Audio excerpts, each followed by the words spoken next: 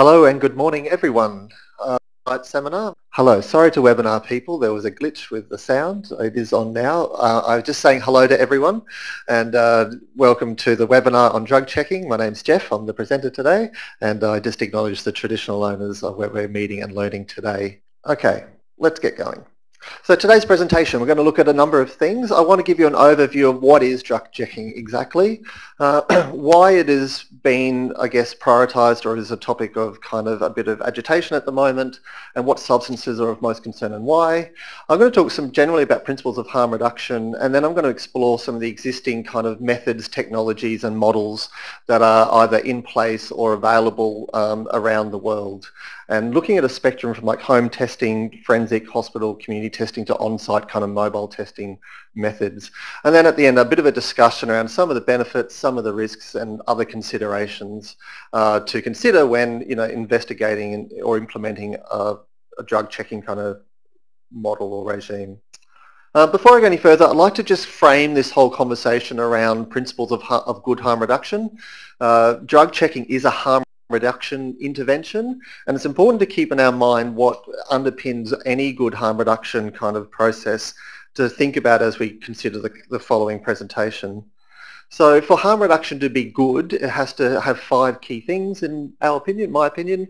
Uh, first of all, it needs to be the right message. It needs to be accurate and technically correct. You know, it needs to be correct. It needs to be the right message it needs to be delivered to the right person. You don't deliver harm reduction to people who are not currently using or intending to use.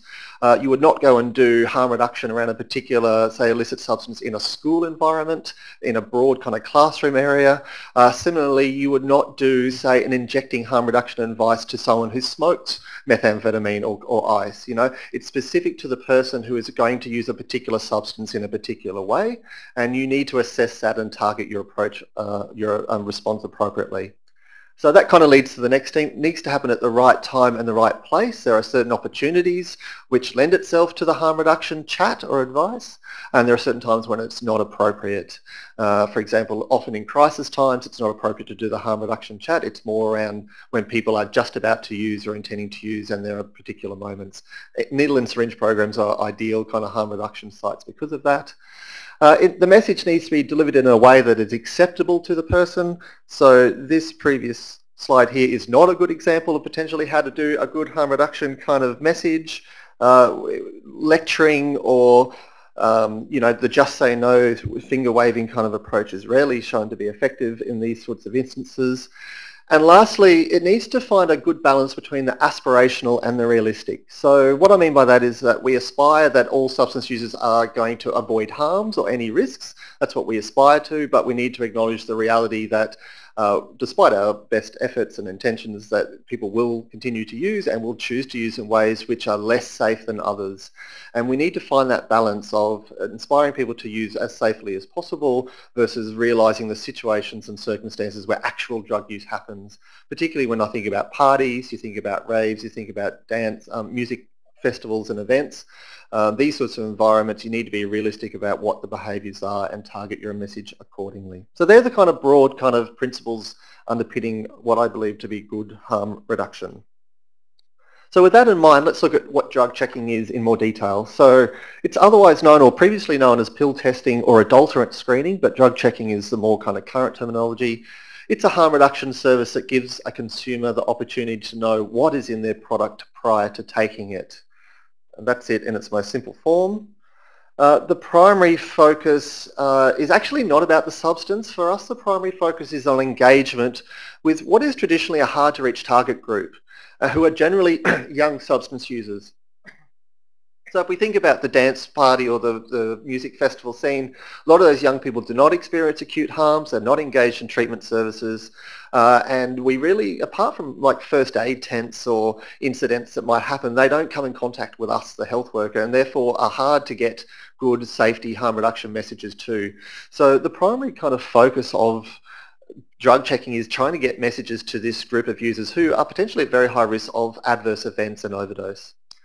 The secondary focus then is actually on the substance and for what we're trying to identify is unknown or potentially dangerous adulterants. Uh, and I'll talk a bit more about that in a second. But we're also trying to know about high dose of intended substances. So people generally, you know, trying to, in most cases, identify or use MDMA. It's very high dose MDMA. So it's not about an adulterant. It's about a high purity of the intended substance.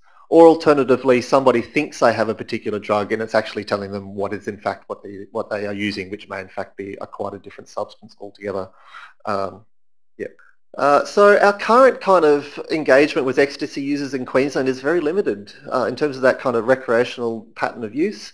Uh, we have at music events and festivals law enforcement and sniffer dogs and we have some basic first aid and chill out type spaces.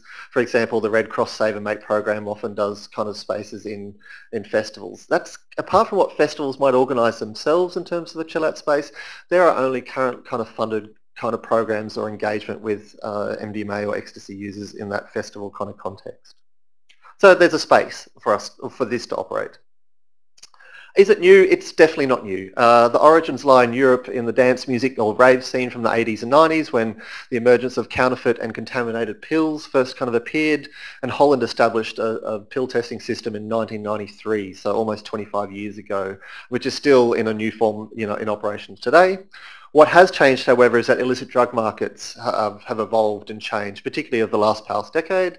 And we know that with the emergence of all these novel psychoactive substances, uh, and patterns of consumption have changed in tandem with that, particularly with um, purchasing substances online and off the darknet, and also the ways people can communicate about their substance using experiences online and using all various different sorts of apps.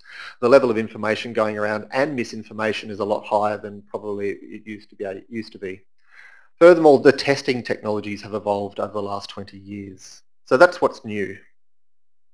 The recent focus, if we look at the National Drug Strategy Household Survey from 2013, about 2.6% of Australians have used ecstasy in the past 12 months, which equates to about 400,000 young people between 14 and 30.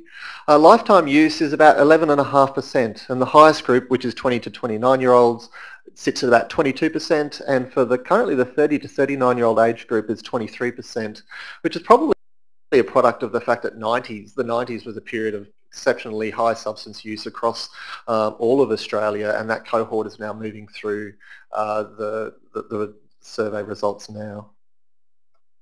The recent focus has also been because we've had a particularly kind of nasty spate of deaths over the past 12 to 18 months and seven young people have died, six of them at music festivals. Some have been more high profile than others, but you can see those names there. Georgina, Tolga, Jared, Stefan, Nigel, Annika, Sue and Sylvia have all uh, passed away following taking an unknown or known substance at music festivals and events over the past 12 to 18 months. And New South Wales recently reported a doubling of their ED hospital presentations over the past six years, uh, whilst arrests for possessions have also quadrupled. And this has caused a whole bunch of media attention, including a recent Four Corners show uh, on the topic. Uh, 60 Minutes and other TV and print kind of articles have been in circulation recently. So, which substances are, are of most concern?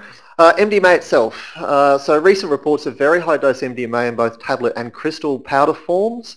Uh, if you have a look at that red pill on the left, the, the Burger King pill, uh, that was detected in Europe with um, an astonishing 300 milligrams of MDMA inside it. And if you think of a standard dose of a regular pill, it's anywhere from like 60 milligrams to maybe 120 is a fairly kind of strong dose. If we're looking at 300 milligrams, that's a double tripling of a kind of purity in one pill. Um, it's actually suspected that a number of the deaths are not from the adulterants, but actually just high-dose MDMA consumed by these young people at festivals. Uh, and in 2015, all of these pills here are, are a premium pill that was uh, manufactured, I believe, in Netherlands and sent across Europe and the rest of the world, which had a very high dose MDMA following a new uh, synthesis method that was invented around using PMK glycidate. So we're talking about 200 milligram type pills uh, in circulation, um, and they have reached Australia as well, we believe. Uh, I guess the big one that most people think about when they think about uh, adulterant screening is PMA and PMMA, or paramethoxy or methyl methamphetamine. Uh, look, this is a drug which is synthesized using phenyl or aniseed oil as opposed to safrole, which is the, uh, the precursor to making MDMA. Uh, aniseed or phenyl is legal and a lot of manufacturers will use that to test the synthesis of a new batch and produce PMA to work out if the synthesis is correct before using Safrole. Uh, most you'd think that a lot of the time those pills are discarded, but in sometimes they hit the markets, and that's when PMA and PMMA hit the streets. Uh, at low doses, it's similar effects to MDMA. Uh, at a higher, slightly higher doses, it affects the heart rate, blood pressure, and body temperature. And at higher doses, still, it can lead to vomiting, muscle spasms, convulsions, difficulty breathing, coma, and death. Uh, it's the death pill. You know, it's it's that's what it's it's um, kind of fame and notoriety is about. And why it is so dangerous is it, unlike MDMA, it takes a particularly long time to come on. So it can take one to two hours. So what a user may do is take it, think it is a weak pill, and then take a second one, and all of a sudden there's a high dose response curve and they've overdosed, overheat and come into big troubles there. It's particularly risky in combination with uh, MDMA because it's an MAOI, a monoamine oxidase inhibitor, which means that it will uh, stop the breakdown of serotonin, which will cause that serotonin syndrome more likely to occur. So pills that have both PMMA or PMA and MDMA are particularly uh, dangerous to the user. Uh, and these are some famous kind of pills in circulation. Last year, the the Pink Superman and the Mitsubishis of uh, yesteryear were notorious as being uh, contained of MPMA. Uh, Queensland is not immune to this. In 2012, there was an interesting case study of a bunch of blue Louis Vuitton pills that caused a bunch of deaths here in Queensland. Uh, and interestingly enough, it was the Sunday Mail that blew this story after they pieced together uh, a number of deaths at hospitals and reports by users on a online pill report site. And basically, they first established that this Louis Vuitton pill was potentially dangerous and published it, and it was tested later and confirmed to have PMMA in it. So I think there were approximately three or four deaths, um, we're not quite sure, to this pill in 2012 and a whole bunch of hospitalizations. So uh, that kind of shows, uh, that's an informal early warning system, I guess, is when the media pick it up. Uh, but I guess a drug checking uh, system would be designed to pick this up earlier before perhaps the Sunday Mail would. This is the other drug that's causing concern for many practitioners at the moment is the NBOMe series. Uh, and there's a number of different types, 25B, 25C, 25I. This is an extremely powerful kind of hallucinogen, which is an analog of an analog. It's a derivative of the phenethylamine 2CI, um, which was invented in the 90s. And in 2003, it was then again synthesized into the NBOMe series. Um, it's powerful in the microgram range. So we're looking at 0.05 of a milligram for it to have a psychoactive effect. Uh, however, it's uh, orally active uh, as opposed to uh, ingestion through the stomach. You will get an effect that way, but it's more active through the nasal kind of passages. So most early users were um, insufflating it or, you know, mixing into nasal spray and, and snorting it that way because of its uh, high purity or high um, toxicity, um, lots of overdoses have happened and there was a mass overdose at Kelvin Grove here in Brisbane at a party where someone had made up a batch of nasal spray and everyone had sprayed it and there was about eight or nine kind of hospitalizations that night. Uh, but more recently, it's also appeared in liquid and sorry as blotter form and being marketed as LSD because of its hallucinogenic effect, and also in powder pressed tablets. Uh, so because it is a hallucinogen, it does have some similar effects to LSD, uh, but opposed to LSD, which has no taste, uh, NBOMes has a very bitter taste, uh, and that would often be a sign to someone swallowing LSD tab thinking it was LSD that it may not be that. Uh, and this drug itself has caused lots of different problems, as I've mentioned. Uh, particularly online reports, you hear about people swallowing it and having, um, a, you know, um, a night out or a bizarre night out, and then some friends crushing and snorting a pill at the end of the night and ending up in hospital because of the fact that it is nasally active and, and, and orally active, etc. Uh, and a lot of the people find it a very intense experience, and that's why a number of deaths have, have eventuated from car accidents, drowning, repeated head trauma from bashing into street posts in one particular story, uh, because people find it too intense and want it to end, and and um, and you know come to unfortunate endings like that.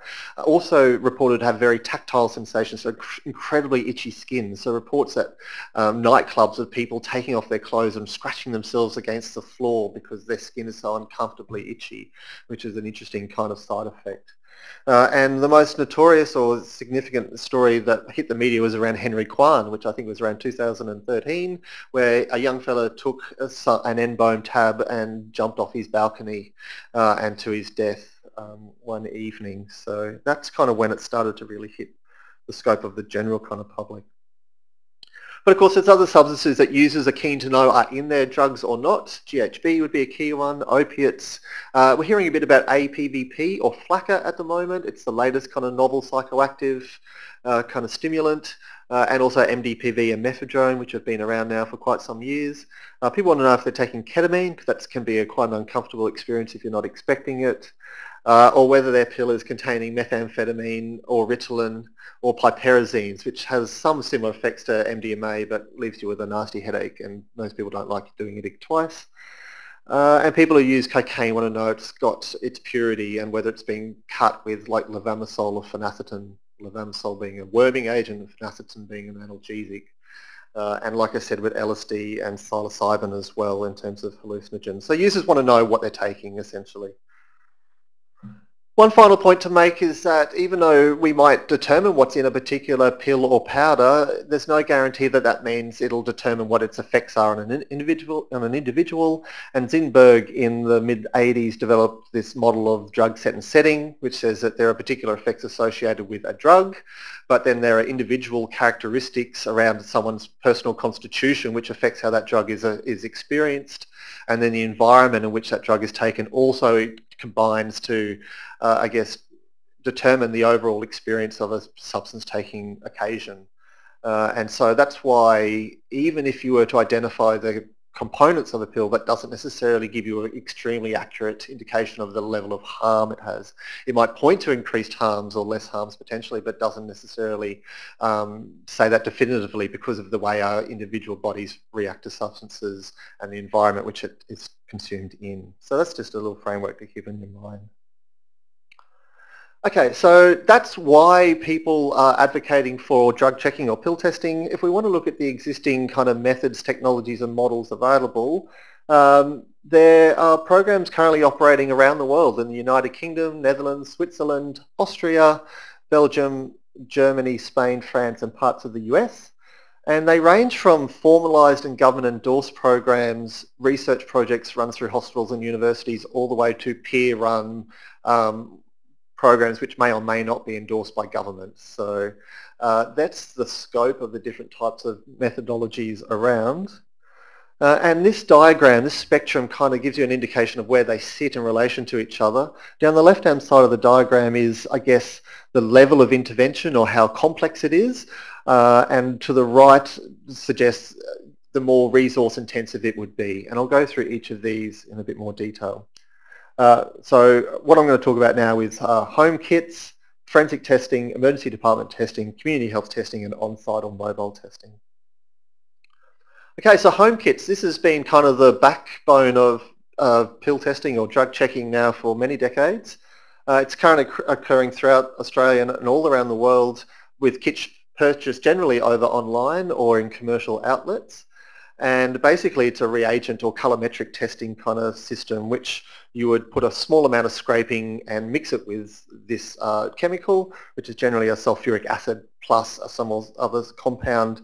And based on the color uh, would determine what the contents are.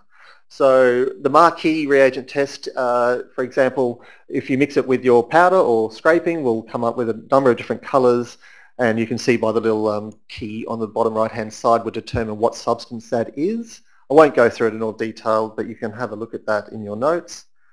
Uh, the Mecke reagent test uh, is a similar test.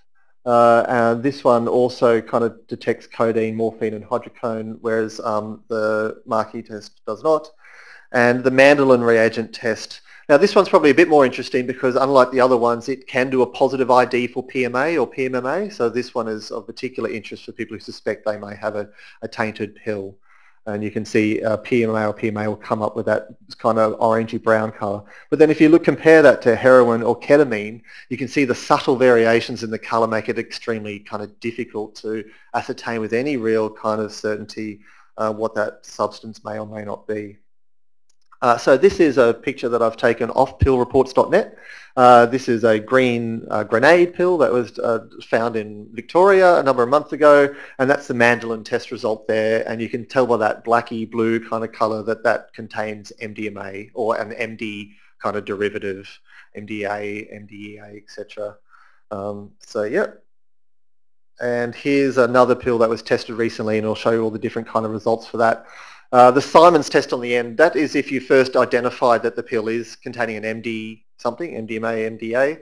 Uh, this will determine whether or not it's uh, MDMA or MDA, so will, or methamphetamine or amphetamine, or methadone or methylene. It'll determine whether it's got the meth component of it. So that's what that particular test does. But generally users would not just rely on one test, they would use a couple of different tests to try and determine the contents of their pill uh, if, if they are using this system. Uh, and the other one is Ehrlich's reagent test. So this uh, tests positive for LSD and other kind of hallucinogens on that list, psilocybin and DMT. It will not come up with any colour for uh, the NBOME series. So this is the test that most uh, LSD users are using to determine whether or not their blotter actually contains uh, NBOME or LSD. Uh, so these are all available and EasyTest is the largest kind of online stockist in Australia and you can go onto that website and look at all their product range and it has descriptions and videos on how to use them and they can be purchased and posted to you. Uh, so if you're interested in knowing more about this testing kit system, uh, that's it. Uh, and a lot of these tests are used and are form the backbone of the reporting system used by pillreports.net. Uh, this is a system that's been running for many years or decades now, where essentially people will, uh, you know, report on a pill that they have come into possession of. They will generally, or they are asked to by moderators to do a reagent testing and to post results and to describe the pill, its colour, shape, size, uh, where they got it from, and then following their use, what they suspect the contents to be.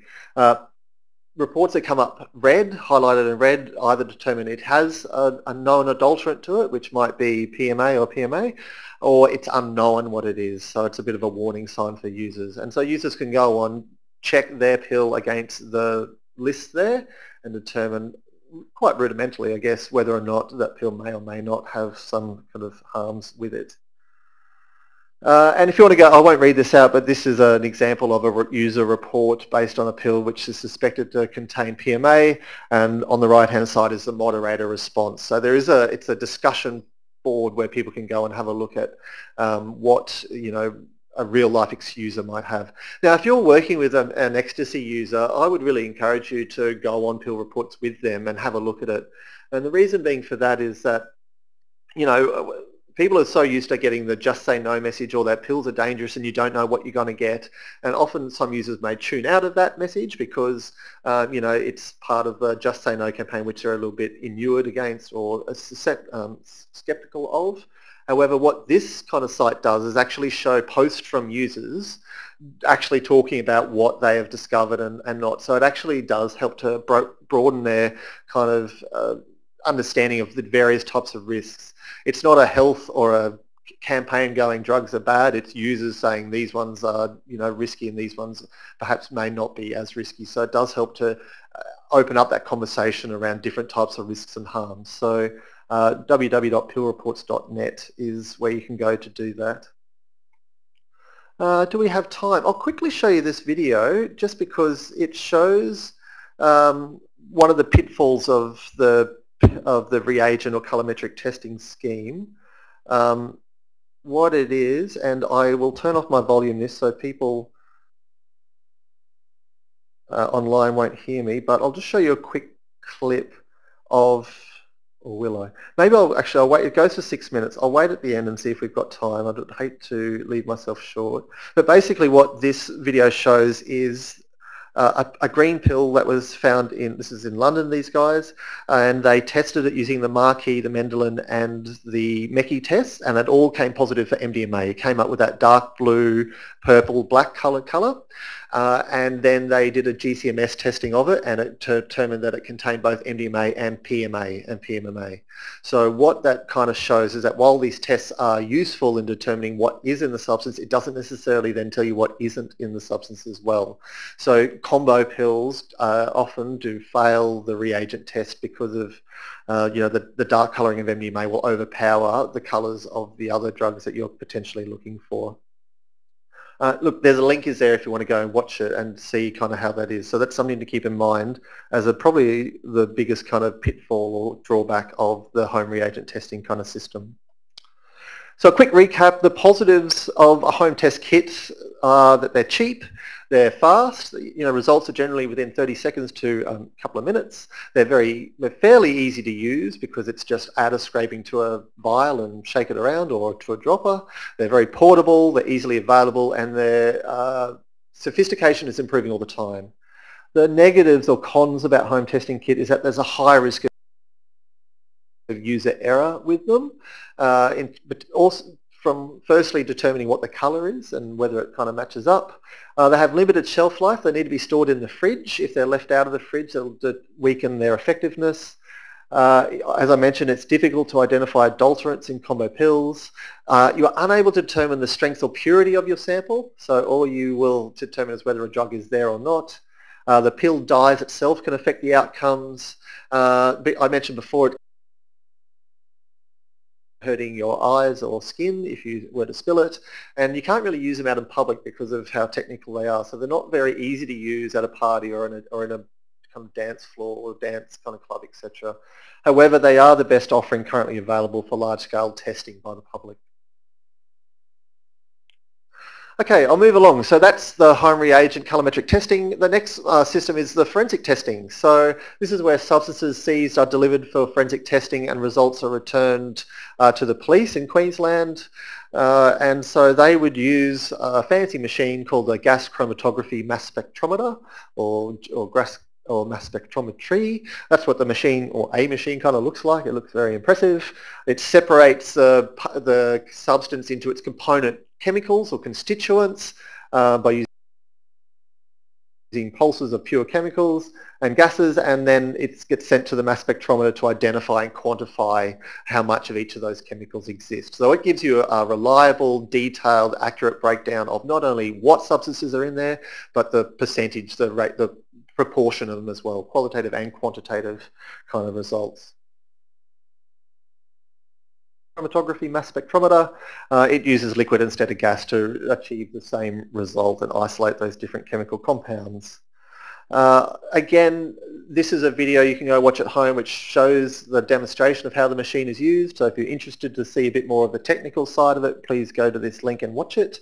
Uh, and it will determine, show you the printout that you get from it.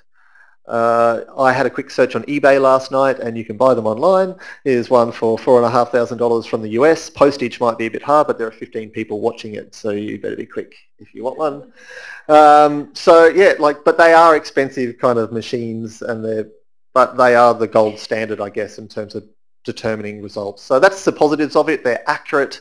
They give you quantitative analysis and they're fairly fast. They take about 20 to 40 minutes to uh, to test a substance and get, a, and get the breakdown.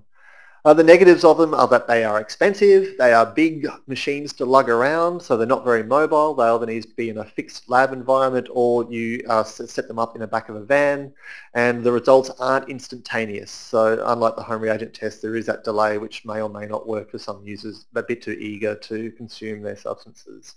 But the verdict for them is that they're essential if we want to do accurate and reliable results with with quantification. Uh, so forensic testing in Queensland. So currently, we any substance seized by QPS is sent to analysis at our Queensland Health Forensic Scientific Services out at Coopers Plains. Uh, the results may take weeks or months depending on the backlog of samples to test. Uh, those results are published in a police kind of bulletin called The Buzz, uh, which is an internal report for them and selected agencies, but that's not made available to the public or to health practitioners like ourselves. So currently there's no real regular mechanism for public notification of high-risk drugs. Uh, occasionally the police will issue media warnings, uh, but it's uh, fairly hit and miss or inconsistent depending on what is actually out on the market. Uh, in fact, the only state in Australia which currently has regularly allows the public access to kind of the results of seizure data happens in Victoria. So that's the state of play around the, the forensic testing. Uh, and the emergency department, so sorry, the next model which is uses also a GCMS, LCMS kind of system is emergency department testing. So this would be if someone um, experiences some misadventure and ends up in hospital and maybe there is some pills in his or her pocket which are found or fall out or via an amnesty bin system where they are encouraged or invited to submit a sample of pills into a bin, then that could be the same system, but it doesn't use uh, the police as the entry point. It's using the hospital as an entry point. Uh, this uh, doesn't really happen much in Australia. There is a model that Dr. David Caldicott is doing at Calvary Private Hospital in Canberra, uh, where he has done some tests of pills that have been presented through his emergency department there. Um, but that is another option that can be explored. I guess it, it's just another contact point for these substances getting to a, a, a testing lab or facility. Okay, uh, so and look, this is an example of what Dr. Caldicott discovered in Canberra, I think in 2013, were a bunch of pills that were presented from an unfortunate uh, visitor to the emergency department.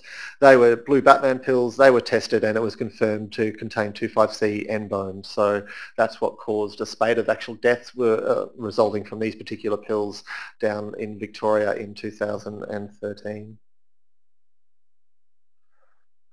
Okay, so the next model I'd like to quickly run through is a community health testing model. Uh, this is where there is a service set up in the community where it's a stationary service where people would come in and they would provide a sample and they would talk to a nice nurse or social worker or psychologist and provide a sample of their pill. There would be an intervention that happens right there around the particular substance and, you know, they would ask where did, you know, what, what do you intend to do with it? How much do you intend to use? When do you want to use it? What do you think is in the pill? And they would do a, an instant home, oh sorry, a reagent test to get an initial response and then send it off for GCMS testing or LCMS testing with the results to be publicized at a later date. Uh, so the most famous or well-known model that uses this kind of um, community health stationary setting happens in the Netherlands. And this is a picture from there, and I'll show you a quick clip soon. Uh, and where, you know, basically they would match up a pill presented with a database and then do testing to determine what is in it. Uh, so I've got a quick video which I will show you on this one just to give you a bit of video and, and audio of this. Ingjerd van der Heide is the same age as Gemma was when she died. But she lives in Holland where every major city here has a state-sanctioned pill testing centre. I brought one pill. You bought it as ecstasy? Yeah, I bought it okay. as ecstasy. Like about 70% of ecstasy users worldwide, Ingjerd only takes the drug occasionally. And that's even more reason for her to want to find out exactly what she's taking. Do you know how much you need to take for your body weight? Uh, I know because I'm a woman. I can get one to one and a half milligrams of MDMA for each kilogram I have. The pill that you've just tested, tell me about it. It's a very high uh, dose pill. For a girl uh, with her weight and length, it's, it's too much, so she needs to be aware of it. How does that change your behavior, if at all? I will just take a quarter or half and then we will see. But no, I will never take one pill at uh, one moment. That's too much. It always is. Okay, so there you can see like an example of the stationary method where people would come in and, and present a pill. I might, I forgot to add, that's from a recent 60 Minutes documentary called Testing Times, which was aired, I think, late last year. Uh, it's available on the Channel 9 uh, website to go and watch if you'd like. It's about a 13-minute uh, cl clip which talks about different pill testing and drug checking um, models around the world if you want to know a bit more about it. So, yep, so that's that kind, that's that model, the stationary model. The other model, which is an operation around the world, is the on-site or mobile testing model. Uh, and so this is the outreach component of the stationary one, where you actually take the testing and the and the and the staff um, to the places where people are going to take their drugs right there, right then. Uh, so generally, this is used, um, or most popularly known, is in Austria, uh, where they would take a mobile van, or the Check It program, it's called, and to uh, particular entertainment precincts and to festivals.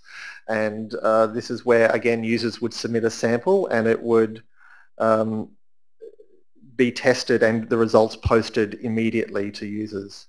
So I'll just show you this video uh, as well. Because they can have their drugs tested right next to the dance floor. I got ecstasy. Okay. All that is required for the test is a tiny scraping. The police stay away to encourage the young partygoers to have their drugs checked, which is done in a mobile lab outside. Chemist Rainer Schmid and drugs counsellor Karl Kotschuper run this program in Vienna, paid for by the city's health department. We see drug taking as a fact, so we want to promote safer use, but the, the, the decision is always on their side. The test takes about 30 minutes.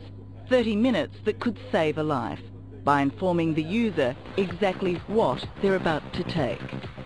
So a program like this helps people decide whether to take them or not to take them. Yeah, I think it decides a lot more because when somebody has more knowledge about stuff, then he can decide it for his own what to do. The results are posted on a notice board. White means your pill contains what you thought it did. Yellow means there are other drugs in it. Red means it's unknown or highly dangerous. Do you believe you're saving lives? Yes, I do.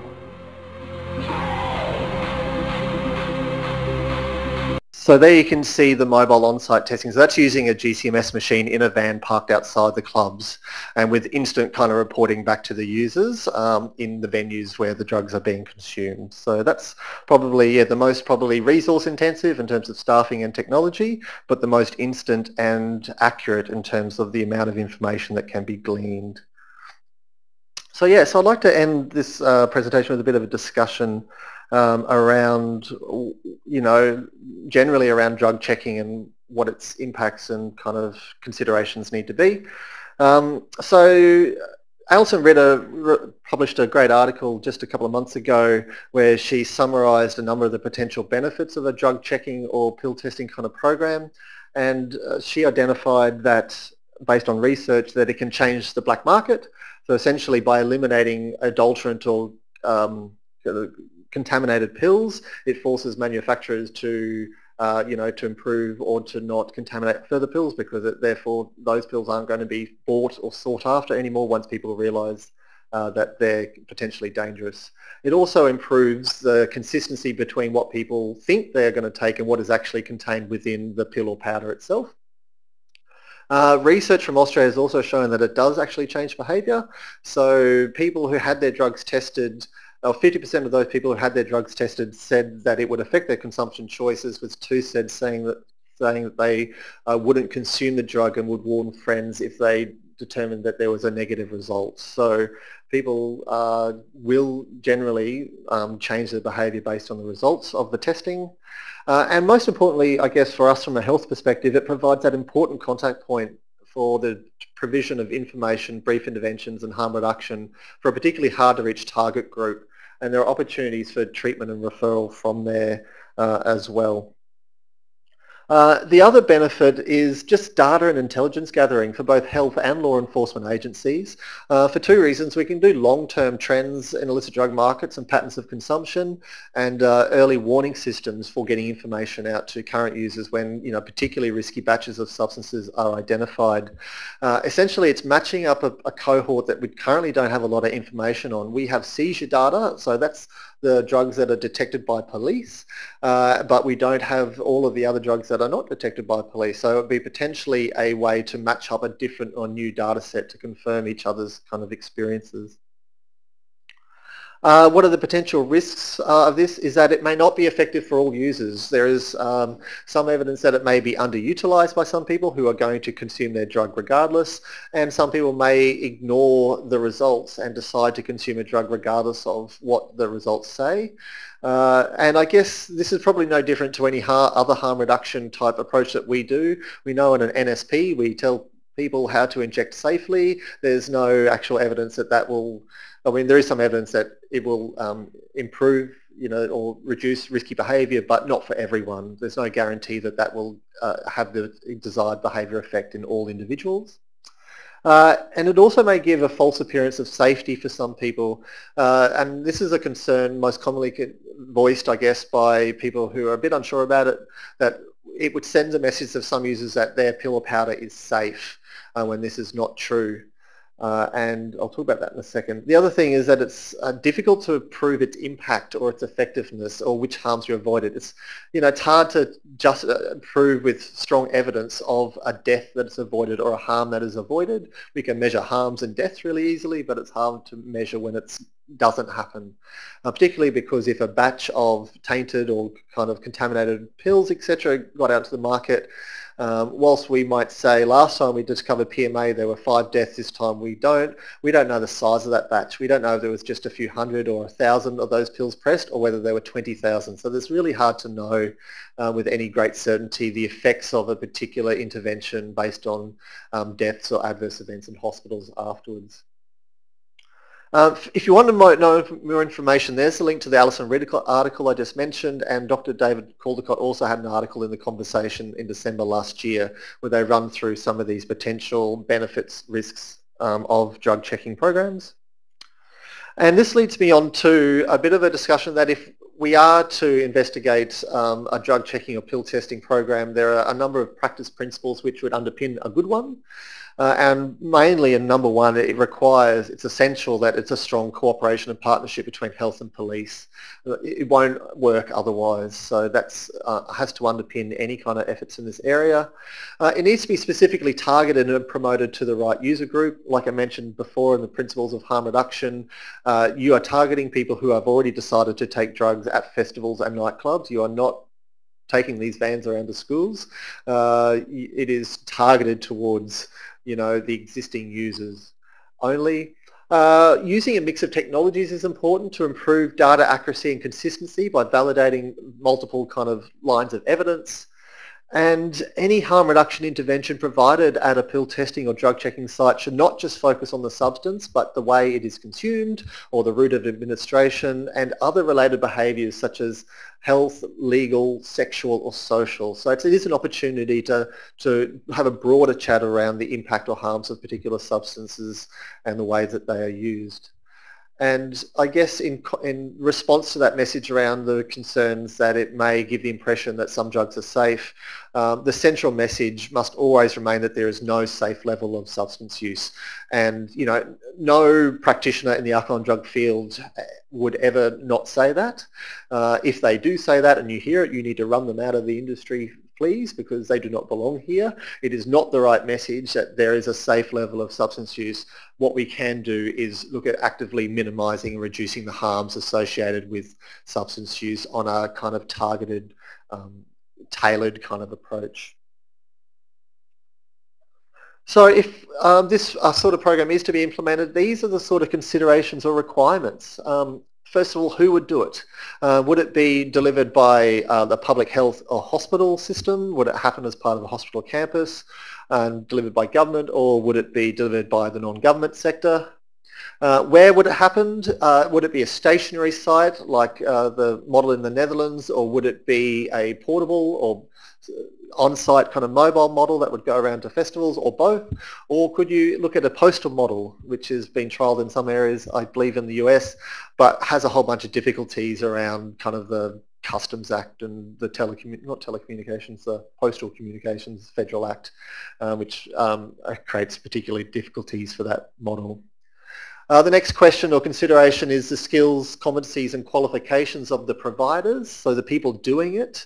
You know, is it delivered by health practitioners and professionals and harm reduction experts such as nurses, doctors, social workers, psychologists, OTs, or is it a peer model? And what are the quality kind of controls you can do to make sure that any harm reduction advice is accurate and appropriate? Uh, the next question is what results are notified? Do you publish the results of all testing or do you just release high risk results only? And if you do do that, what determines, what's the cutoff for a high risk? Uh, is it, I mean, the PMA is an obvious one for a high risk, but do you have a line at where an MDMA pill is deemed to be particularly dangerous and what is that? Is that 140 milligram? Is that 180? Like, so that's decisions that would need to be made or do you just publish everything? Uh, who do you publish the results with and, and how? Do you publish it direct to the user? And if you do that, is it a verbal interaction? Is it written to them or is it by SMS? So how do you communicate back to the supplier of the substance? Uh, or do you publish it online or both? Uh, some models around the world will do drug checking but will only ever publish dangerous results online and won't give any direct kind of information to the consumer. So, you know, there are different kind of approaches to that. And, and the question then is, does that reduce the efficacy or usefulness if the direct user isn't going to find any information about their own particular substance? There are obvious issues around preserving user confidentiality and managing access by police uh, to the site where it happens and also public access by sticky beaks wanting to have a look at where a pill testing site might be. Uh, and then importantly, legal protections and arrangements for service providers. So how do drug checking providers avoid civil liability claims or possession and supply charges? Uh, and actually there's some interesting advancement in technology around handheld ion scanning, which is potentially a way to, you know, reduce some of that risk because you don't really need to get or possess a sample of the drug. You can just run a toothpick against the sample and submit it into the ion scan and there is no exchange of the the substance between the user and the tester, but that can give you a fairly good accurate results there. So there are some ways to look at that, I guess, difficult area around the legal status of possession and supply. Uh, and then uh, some procedures and controls for presenting the system misuse by dealers and suppliers. So how do you stop gaming by users trying to promote their great pills or their great powders by using this system? And certainly models overseas have got procedures in place which actively uh, deter or refuse to use obvious uh, dealers who are using the system uh, deliberately to promote their particular substance. Okay, so that's it. That's kind of the overview of drug checking. Um, it's uh, a system which is not new. It's uh, it's you know it's there's plenty of evidence around it from overseas, but there's limited trials here in in Australia. Uh, and on that basis, I'd like to open up to the floor to questions.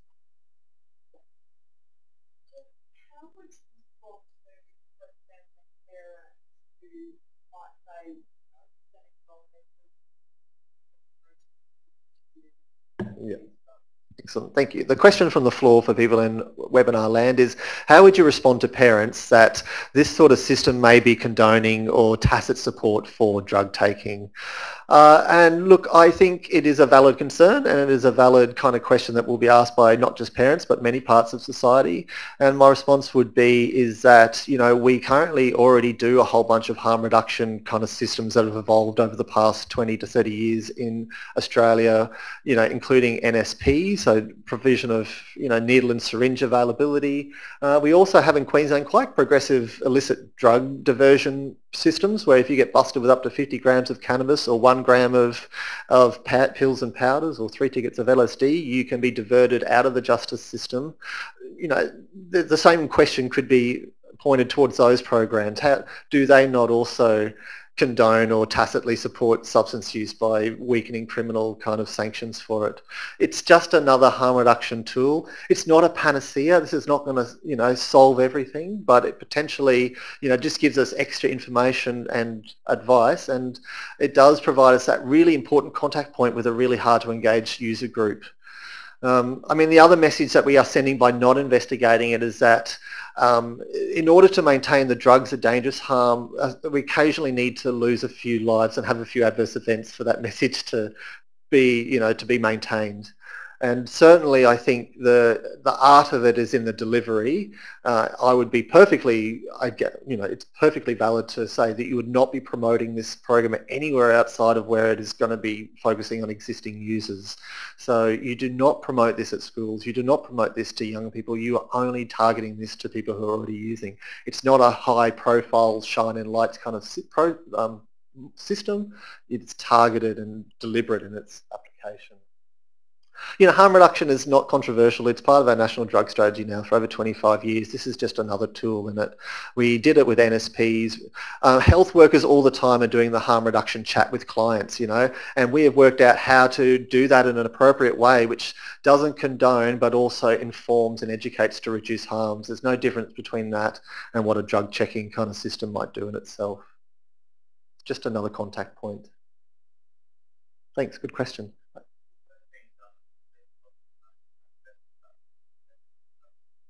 Uh, I'm not sure of that question. The question was, is there um, work or any moves to gain access to the Buzz report by police? Uh, look, I'm not sure. I know some of that data is, is quite sensitive and there are legitimate concerns about that getting in the hands of the public, um, but no, I'm not aware of any current um, kind of information sharing protocols around it. But it's perhaps something that could be investigated. Okay, just quickly, I'm going to go to the webinar questions. Uh, there's a question uh, that there was no substance use on the Sunshine Coast. That's funny. Who are the companies across the globe that are leading the utilisation of the data that the tests collect? I'm not sure if there's a coordination of the data results across different countries. I know in Europe through the uh, EMCDDA, the European Monitoring Centre for Drug and Drug Addiction, which is uh, operated out of Lisbon in Portugal, uh, they certainly do collate data from a lot of the European kind of nations and report on that regularly. But in terms of intercontinental coordination, I'm not sure if there is. So I'm not sure. Maybe it is, and we don't. I don't know about it. Uh, I am not an expert. And I forgot to maybe mention that at the beginning. I just crashed uh, study, crammed this particular topic for this presentation, but maybe my colleagues Cameron Francis or Dr. Caldicott might be able to give more information about that particular one. Will we become a dumping ground for dodgy pills if we're the only country not to do drug checking? That's an interesting kind of theory. Um, I'm not too sure how sophisticated our drug markets are, but uh, that is potentially a risk, I guess, if, you know, it is, but I guess that would require a widespread uh, implementation of drug checking for us to become a dumping ground. Uh, there are plenty of users out there and currently the Australian approach to drug taking at festivals is you don't need to know what it is, you're just going to take it. You know, you rock up to a festival, you unless you're bringing your own, you ask around until you get it, you then take it. So I guess to some extent, no matter how much information we are, that behaviour is fairly well entrenched and ingrained amongst um, recreational substance users at festivals and events. Uh, any other questions? From the audience?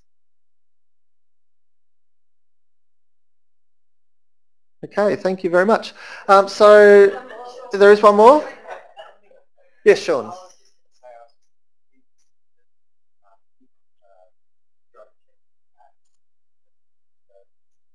Yep.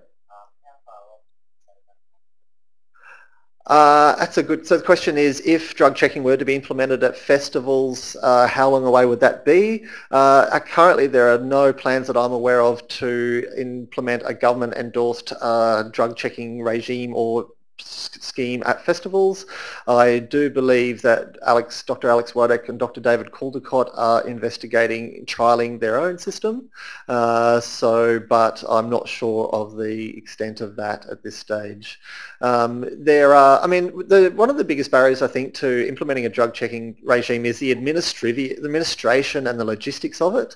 I mean, first of all, you need to, there's an investment of it in the technology. There's an investment of how, where you put it.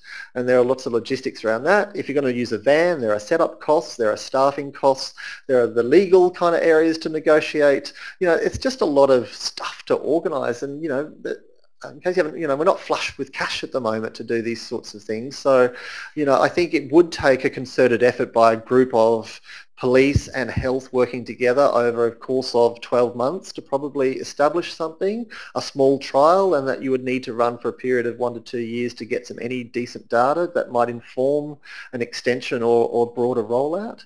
But there are a lot of kind of practical hurdles and administrative kind of issues to resolve. So yeah, so at this stage, um, home reagent colorimetric testing is the best we have in terms of its ability to get out quickly, to get some sort of results. Um, we could do probably a better job at matching our forensic kind of data as a bit of an indication of what might be out there. But again, that lags behind depending on how many, you know, batches they have. You know, it can be up to six months, you know, for some of that stuff, maybe longer, you know, and generally it's used for criminal proceedings so that they can use it to determine you know, what that someone is actually up against a supply or possession charge. So by the time that test result comes out, those drugs have gone. They're through the system already. Unless someone is sitting on a deliberate batch of PMA because they want people to forget about it so that they then can sell it 12 months, 18 months, two years down the track when people have forgotten that that was a, a dangerous pill to look out for. So um, they're, they're the issues that we have with these sort of markets which make it difficult to, to kind of make a move on it. Yep. Any other questions? Okay. All right, well, thanks a lot. So um, please fill out the uh, online uh, SurveyMonkey surveys for webinar guests, for real people in the room here. Uh, can you please fill out the paper survey? Uh, we're having a break now, so we'll be back in three weeks' time, we're having a break for school holiday people. It, the reason why we're doing this is because some presenters would come here during school holidays and lots of people are not here because some people can't make it. So uh, this semester we're going to have a break and we're coming back on the 13th of April with Dr. Kate Hall from Victoria, who's a senior lecturer at Deakin University talking talking about emotional regulation and impulse control, her ERIC tool, um, which I I highly recommend because it's a really fascinating and tool to use with all these great small exercises you can use with clients who uh, have difficulties regulating their emotional states and distress, etc. So I really do invite you to come back to that. Thanks for spending an hour with me this morning and I wish you all a happy and safe Easter.